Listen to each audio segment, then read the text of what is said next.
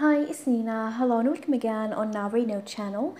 And in today's video, I'm going to ask the question whether can you change Facebook join date or not.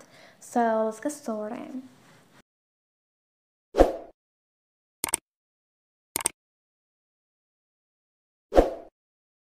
Well, after getting the app and to find your Facebook join date, then tap on your profile picture at the top right corner.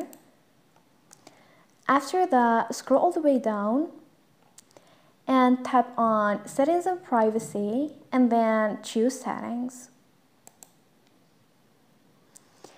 This interface will appear. So tap on account center.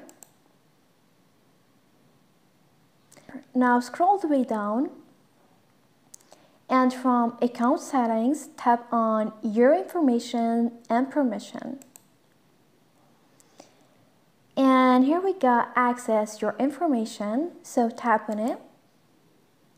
Scroll all the way down and tap on personal information.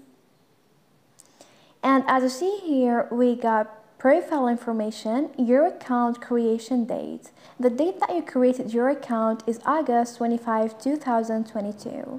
Here, if you're wondering whether can you change Facebook join date or not, the answer is no. Unfortunately, there is no way to change your Facebook join date. And the only way to do that is to delete that account and then create a new account and the Facebook join date will be changed as well. And this is it. Thanks for watching. See ya.